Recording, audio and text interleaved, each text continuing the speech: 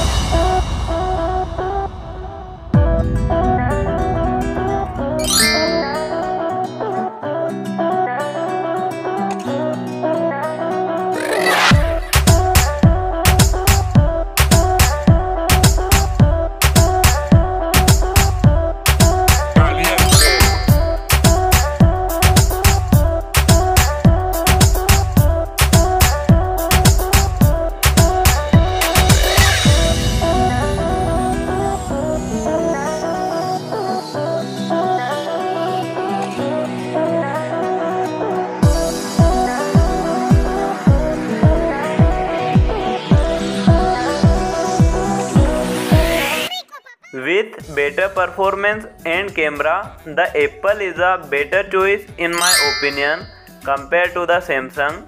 I hope you enjoyed this comparison of the Apple iPhone 14 Pro Max versus the Galaxy Note 20 Ultra 5G. If you like the video, give it a thumbs up, sub to the channel. This is Akshay here and I will see you in the next video.